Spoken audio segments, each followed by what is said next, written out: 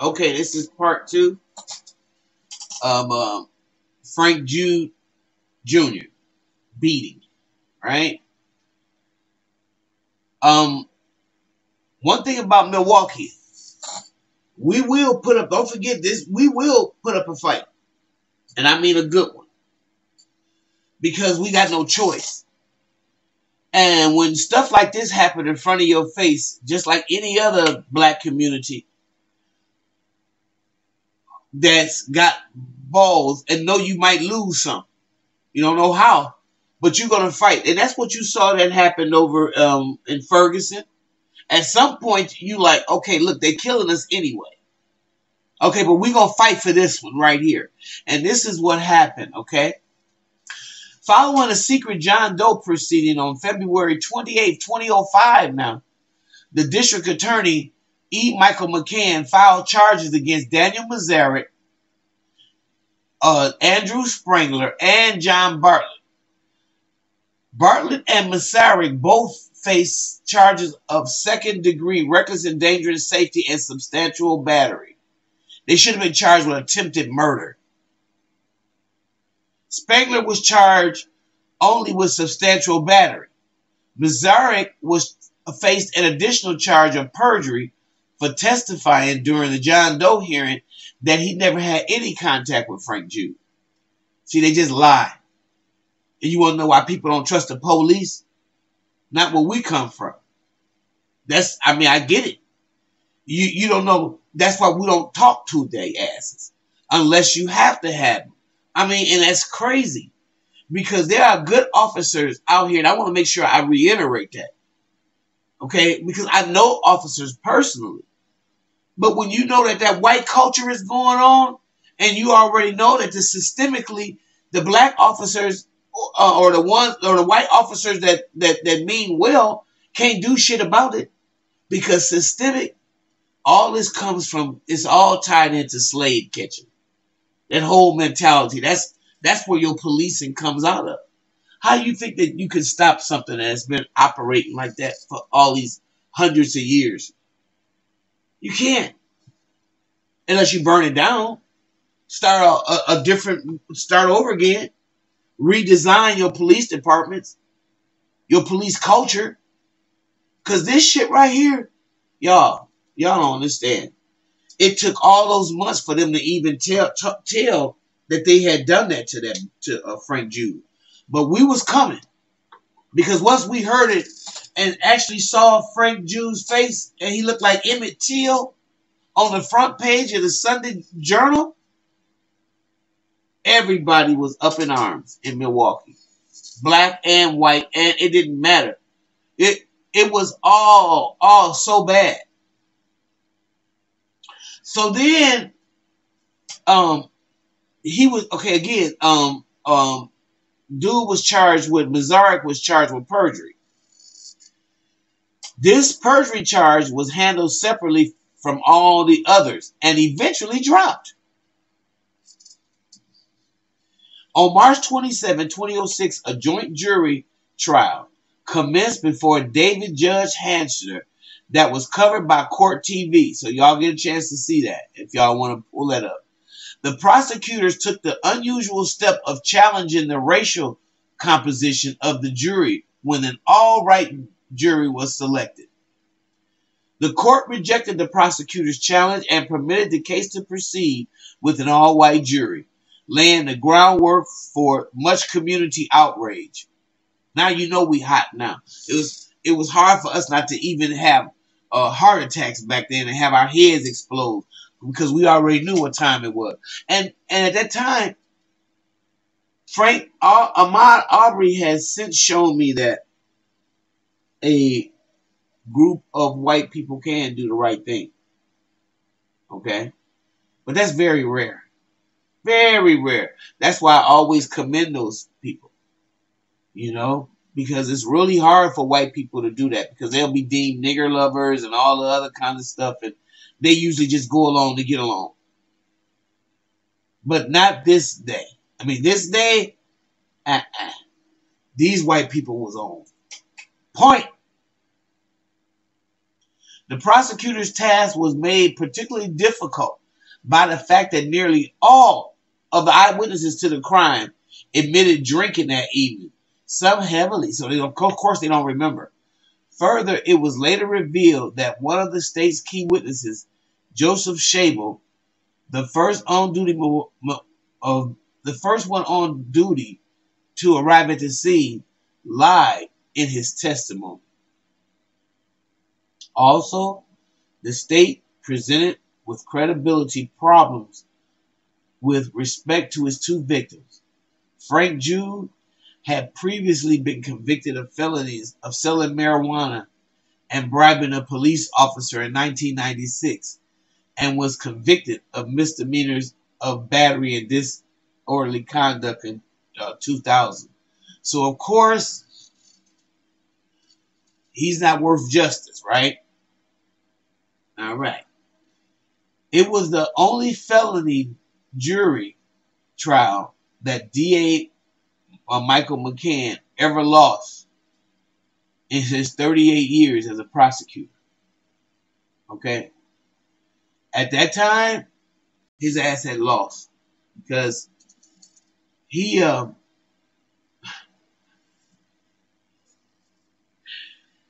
this dude remember he lost. He's like you think he was sad? Huh? Shortly after 11 p.m on april 14 2006 after deliberating for 27 hours the jury returned its verdict. Acquitting springler Masarik, john bartlett and acquitted of second degree reckless endangering safety, but the jury was deadlocked on a charge of substantial battery. It was, the, again, the only felony jury trial that E. Mike McCann ever lost. Trust me, he didn't try very hard, and he was on the police officer's side. Although he was a prosecutor. Good old white boys network. The acquittal. Oh, that's when he quit. I mean, after this, that's when he finally retired. I guess he really retired. I guess. Yeah, I think this is when he retired. Anyway, let me move on. The acquittal drew prompt community outrage, as it should have. Despite the late hour, a small group of protesters, led by Alderman McGee, marched through the street surrounding the courthouse there were prompt calls for federal charges. On April 18, 2006, a crowd of 3,000 to 5,000 people marched from Milwaukee County Courthouse to the federal courthouse demanding a federal investigation. I said, uh uh-uh, uh, because you're not going to just do this shit. If you could just see the picture of this guy, Frank Jude. But now that it's on court TV, just like the Dahmer case, don't take my word for it. Y'all can go back and look at it. On May 15, 2006, the motorcade of more than 300 cars delivered a petition to United States Attorney Stephen Biskupic demanding a federal investigation. Demanding that we couldn't deal with the state's uh, you know, recommendation or the state's decision. In response to these demonstrators, Biskupic promised a full investigation because he couldn't believe all of us came up, rolled down like that. He couldn't believe it. This is what happens when community really is like, uh-uh, we ain't tore nothing up yet. We ain't tore nothing up. We trying to get some justice. This is what we trying to do. Okay? So, on October 19, 2006, the grand jury returned a two count indictment charging Jon Bartlett, Andrew Spengler, Daniel Masarik, Ryan Lemke, Ryan Packard, each with violating the civil rights of Frank Jude and Lavelle Harris under the color of state law and assaulting Frank Jude while acting as police officers. Three other officers, Stromey, Clausing, and Joseph Schabel, all agreed to plead guilty crimes related to the beating. Now, this is the federal trial now. So, look, on July 5th, 2007, Ryan Lemke agreed to plead guilty to a lesser crime. And on July 9th, 2007, the jury trial commenced against the four officers. but unlike the state trial, the federal trial included one black man on the jury. Additionally, Charles Clevert Jr., the only black judge serving on the United States District Court for the Eastern District of Wisconsin, presided over the trial. The most plausible change in testimony from Joseph Schabel, the first one on duty to arrive at the scene, who testified in state court that he never kicked Frank Jude, but did observe others do it, he had to tell the truth. So in federal court, after pleading guilty pursuant to a plea agreement that included a grant of immunity for perjury charges for his state testimony, uh, Joseph Schabel testified that he stomped on Frank Jude's head two or three times on the concrete. You hear that? After nearly three weeks of testimony and roughly 30 hours of deliberation, shortly after 2 p.m. on July 26, 2007, the jury of eight women and four men returned its verdict, finding Jon Bartlett, Daniel Masarik, Andrew Springler guilty of both counts. The jury acquitted Ryan Packer of both counts. Packer's defense was that he acted as a reasonable police officer when he took Frank Jude to the ground and left the scene in search of Lavelle Harris before the others began to beat Jude. Remember, he went running looking for the other dude. But he came back. Anyway, the jury rejected Masarik's defense, which was that eyewitnesses were confusing him with Ryan Lemke, another off duty officer at the party, who pleaded guilty pursuant to a plea agreement shortly before the federal trial began. At the time, both defendants had roughly the same build, same hair color, and style glasses. Further supporting Daniel Masarik's defense of mistaken identification is the fact that some witnesses did not identify Masarik as a person involved in the Frank Jude beating until after the photographs of Daniel Masarik, Andrew Springler, and Jon Bartlett and Ryan Packer were widely publicized in the media. So at that time, Ryan Lemke's photograph was not publicized. um, Daniel Masarik, Daniel, Daniel Springler, and both both of whom had been free on bond, were promptly taken into custody to await sentencing. Jon Bartlett was already in state custody, having been convicted and sentenced to four and a half years in prison for making bomb threats to his former police station during a night of drinking on December 5th, 2005. He was while he was suspended from the police force during an investigation into this matter. Also, while this matter was pending, Jon Bartlett was charged in federal court with falsely stating that he was not currently facing felony charges in an effort to obtain a machine gun, a handgun, and hundreds rounds of ammunition. Okay, this is what so this this is what this guy did after um, he was a, a you know sentenced and convicted. On March 30th, 2007, Bartlett pleaded guilty to his charge, and on August 3rd, 2007, Chief Judge Rudolph Randa sentenced Bartlett to 18 months in prison to be followed by three years of supervised release. That's all. Jon Bartlett was sentenced to a total of 208 months in federal of prison to be served consecutively to his other sentences. In a letter read by his attorney, Frank Jude called Bartlett a disgrace and a terrorist and referred to him as Mr. Punisher, a reference to Bartlett's tattoo and the logo of the vigilante comic book character, the Punisher. They were gang members. They were uh, in the Punisher gang unit. They were the gang members in the police department. Because you know you got them in California, you got them on these. These are police gangs. Punisher. They got a few of them. Anyway, Bartlett read a prepared statement where he apologized to Frank Jude and Lavelle Harris, asked for their forgiveness.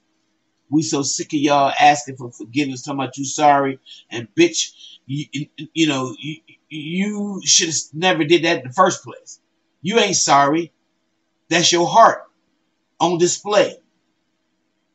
He discussed how incarceration had changed him, allowing him to recognize his prior problems and bring him and his family closer to God. Yeah, right.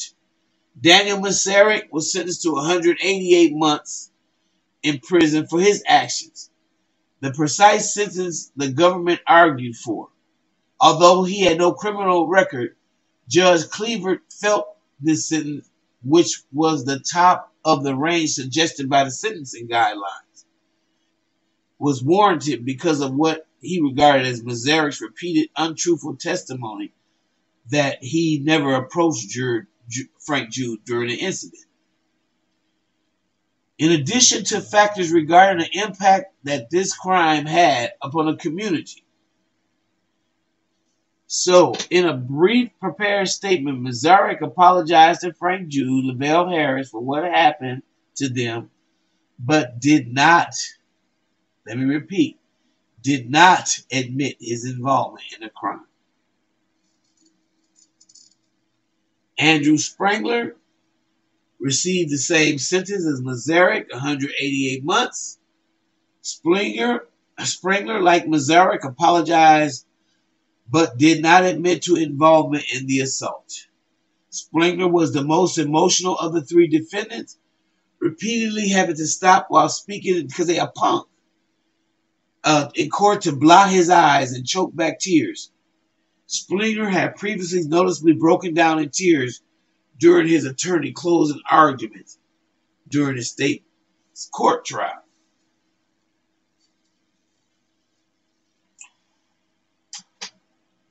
Each defendant will also be required to complete three years of supervised release following his release from prison and pay, along with other police officers convicted in the case, more than $16,000 in restitution for Frank Jude's medical bills. Bartlett, Masarik, and Springer all indicated that they would appeal that decision.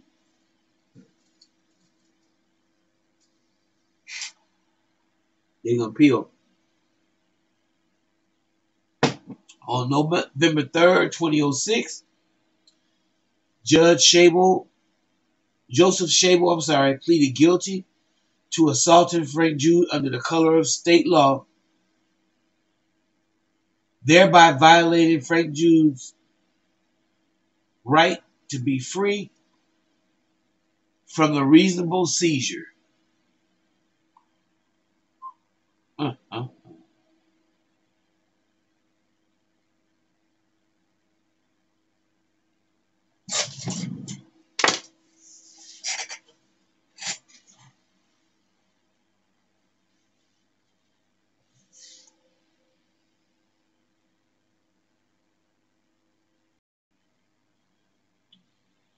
I'm I'm gonna wrap this up because I get angrier and angrier when I see how you know they were allowed to do this. But I encourage each and every one of y'all who enjoyed the um, it might not be as um murdersome if that's what you like, but if you really want to see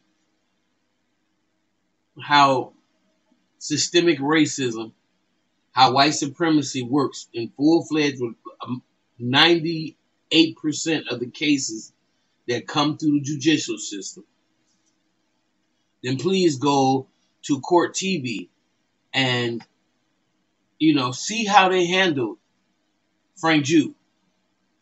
Because the last thing I want to say about this is one of the officers was so crazy.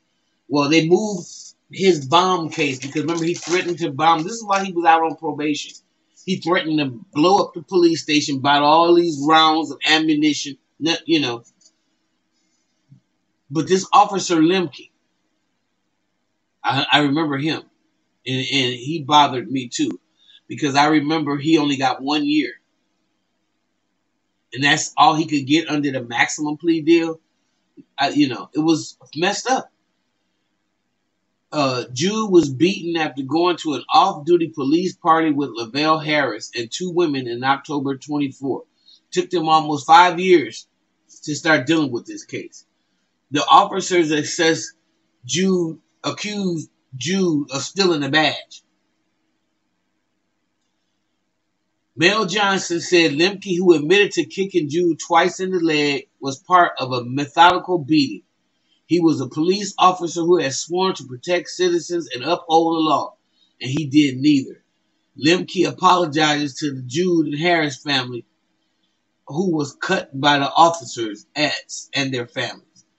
I'm, I hope they understand that I'm sorry, Lemke said, adding that he should have been more deliberate and asked more questions before joining in the fracas. Coming from the family of officers, he said, I will miss helping people he has appealed his firing to the state court. No, you're gonna miss coming down to the hood and beating up black people, or you're gonna miss your uh, appeal. I mean, you're gonna miss your um paycheck.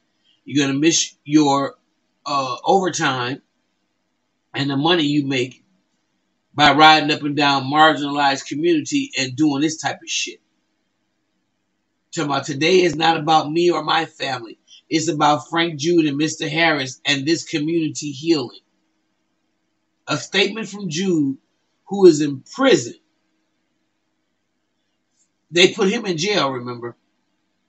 Because he had because because he had an open battery case or whatever. He had he was no, he was in prison because he had a pro, probation violation for having contact with the police. He went to a party. See how they do? He went to a party no matter um, that they were off-duty policemen and beating his ass, the ones that showed up in uniform means he had contact. Wow. Frank Jude said, Lemke acted no differently than a thug on the street. Doris Jude Porter, Jude's aunt, blasted Lemke for being part of the police silence wall as well. I mean, Terry McGuanin, a longtime assistant attorney in Milwaukee, who became Lemke's stepfather 10 months ago, encountered that Lemke was forthcoming. He made a bad decision that night, but it doesn't make him a rogue or a bad cop. What they did to Frank Jude, I'm y'all got to hear the trial, and all I can say is I'm gonna leave it at that. Milwaukee MPD and the treatment of Frank Jude. All right, if you like what you hear, like, subscribe, and share. Cause I think this is long enough now. All right, we'll see you in the next video.